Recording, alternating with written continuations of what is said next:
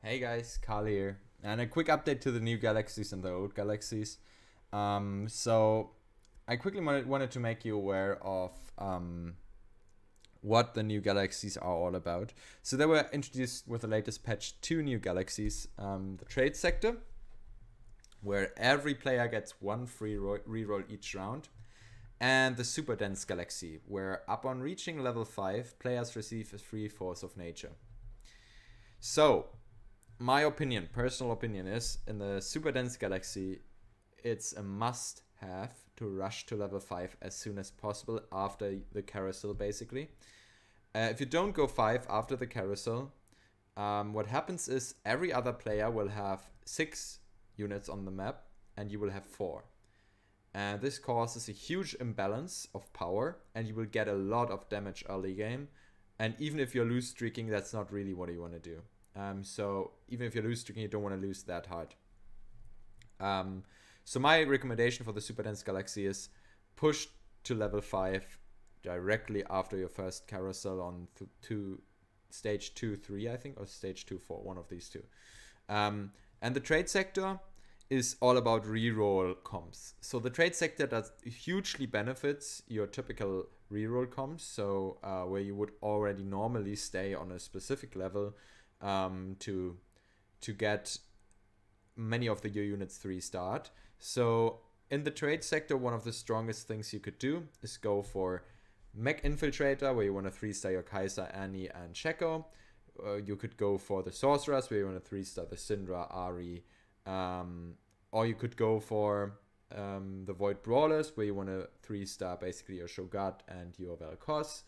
Um, you could go for the Bang Bros, want to three star your Yasuo, your Yi, your uh, Sona, and your uh, um, Shen.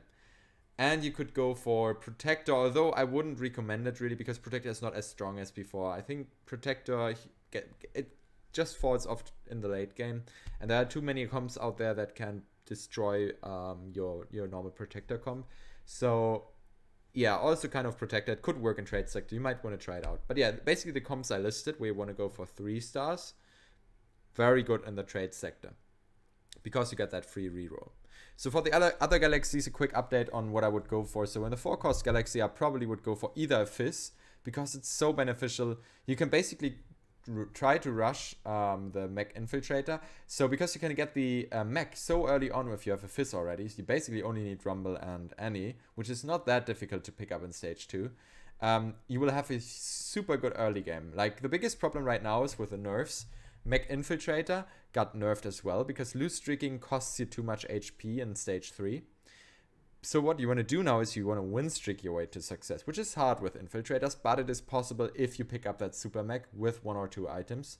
Um, because also, by the way, the super mech got buffed if you don't have all of your three mech units on level 2. So basically, everything about this comp is better suited towards win streaking when you get the super mech. So Fizz for me, my personal four cost priority to get the quick super mech.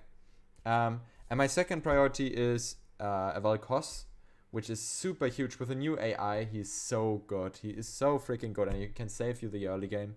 The big problem is if you don't pick up enough tiers, you can't really transition to Void Brawlers. At the same time, if you pick up enough tiers, you basically have your Void Brawlers in front of you. And then the third unit is, of course, my Cho'Gath. I love to play early for Brawlers because it also gives you like so much tankiness and so much options to also go into Void uh, Brawler Blasters. Um, probably I would want to go into Brawler Voids. And in the worst case, you can transition to something else, but still, like Brawlers normally isn't too contested, so it is pretty much possible to to go um, that that direction. Um, yeah, and due to the changes, may, I mean Kayle. Kayle, By the way, Kayle is also a very good early game unit, early mid game unit that you can play that can you secure some win streaks. Um, big problem is that you also need some tankiness in front of her. So what you mostly want is um, after you pick up the Kayle, you want to build some tankiness. But Kayle is also a very good one, I I, I, would say. Um, and then for the other galaxies, so um, the the medium size legend galaxy, of course, again, uh, you can reroll. It is easier again to to lost streak at the start of the game. The extra HP gives you like a, a, buffer. At the same time, you don't want to lose too hard with the changes, so you need to balance it out against your lobby. You can't just open for it. You need to play intelligently.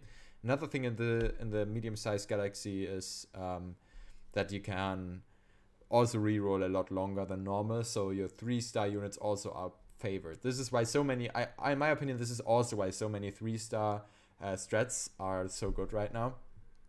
Um, and yeah, basically uh, that's the four, and then the Neekoverse again.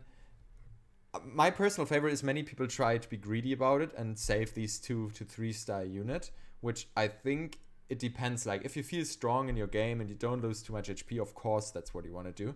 But if you start to lose or you feel like you will build up a loss streak by doing that, that will cost you a lot of HP. I sometimes favor of just using these two uh, Neeko's help to just three star one of my four costs that carries me um, and basically in Star Guardian Sorcs, for example, it's not that necessary. But for example, in Void Brawler, it can give you a huge spike if you pick up like a Vel'Koz 2 very early on. Um, and yeah, so so in, in like the Infiltrator mech in the Star Guardian Sorcs, I wouldn't use it to three star uh, to two to two star unit. Um, I would use these Neekos to three star um, my units.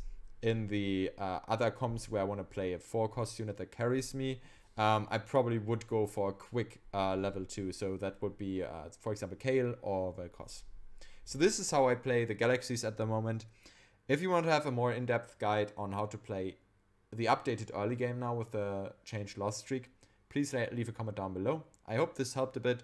Um, this is just a quick initial like um, roll down of these new galaxies if you want to see something more in depth where I go into one specific galaxy and maybe show off one video on how I would play in this galaxy, please leave a comment because as soon as I hit that galaxy, I will basically make a video of it so you can have a look like, for example, how I play in Super Dense Galaxy. Either way, I hope this helped. Um, I will be back online to live streaming on Sunday or Monday. You can check out my latest updates on that on my Twitter feed and I will basically you can subscribe on my Twitter, and then you will see as soon as I go uh, online, I will send an update out, and you can join my stream. So yeah, see you on the stream. If you have any questions, leave them here. Subscribe if you like the video, leave a like, and with that, have a wonderful weekend. Stay safe and healthy out there. See you soon. Bye bye.